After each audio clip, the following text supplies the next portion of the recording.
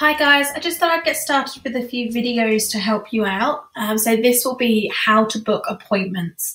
There are a few ways that you can book an appointment in Praktika. The most simple way is to select your appointment time, click and drag for the duration that you're wanting. So you can click and drag. It will bring up the patient search screen. Here you can find your patient. Um, so you just type in what their last name is or their first name, however you want to find them. Select the patient and then you can just press OK.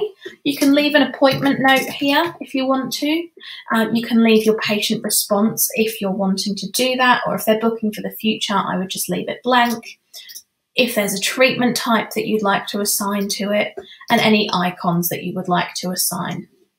When you're happy, you press OK and then you go ahead. So again, that process is click on the appointment book and then you can drag it if you would like an appointment that's longer than 15 minutes. Click, drag, and then search for your patient. Beautiful. Any appointment notes that you're wanting, treatment types, custom icons, and then when you press OK, that appointment has been booked for you. The second way that you can book an appointment, which is really handy if you need to look at the patient file before you find an appointment, is by clicking on this Add button here.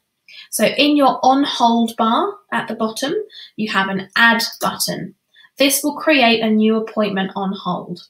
This is really handy for if you are on the phone with a patient and you don't know how long of an appointment you need to book for them. You need to review their file first. So first thing I would do is find their patient file and select it. And then you can click on the link here for their patient file and then you can review their history. So you can see what have they had done recently. You know check out their treatment plan check out their charting any clinical notes that the dentist has made so that you can know how long of an appointment you need to book in for them. When you're happy, I would just select, okay, we need to have a 45 minute appointment for this patient. Again, leave your appointment notes here anything you want down here. You can select a particular provider if it's essential that they see the, that same provider. And then, okay. Then all you need to do from that point is click on it and drag it to an appropriate spot in the appointment book.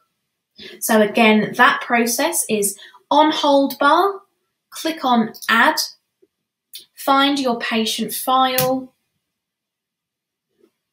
if you're wanting to, you can review their patient file to look at their history so that you can get a bit more information about the appointment. Select your duration up here. You can assign a provider here if you want to. You can leave this blank, that's fine, and then press OK.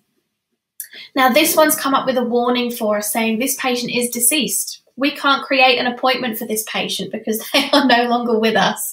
So that's fine. Let's find another patient file. So we'll click on add, find our patient file,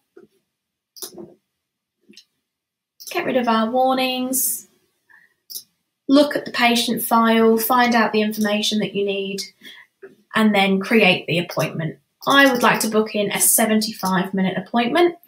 As you can see, we did not select a provider. So what happens when we drag this to the appointment book, it will just change color depending on who we book with.